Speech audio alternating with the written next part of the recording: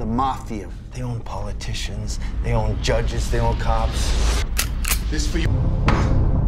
I want a sit down. What who? Well, everybody. All the bosses and all the captains, all the families. Someplace quiet. You gotta be low key, away from everything.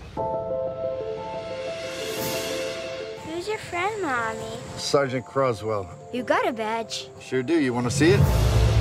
Every boss, every wise guy in the country, they're all coming here. Well, good to meet you. Nice to meet you. Something's going down, I know it.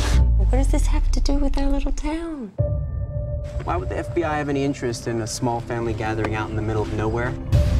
There's a network of organized crime running in and out of this area. You're making a big mistake, pal. Yeah, how so?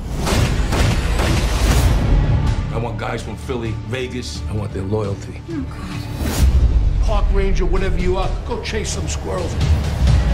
Inside that house is the top brass of the American mafia. This is all you got? Jesus Christ.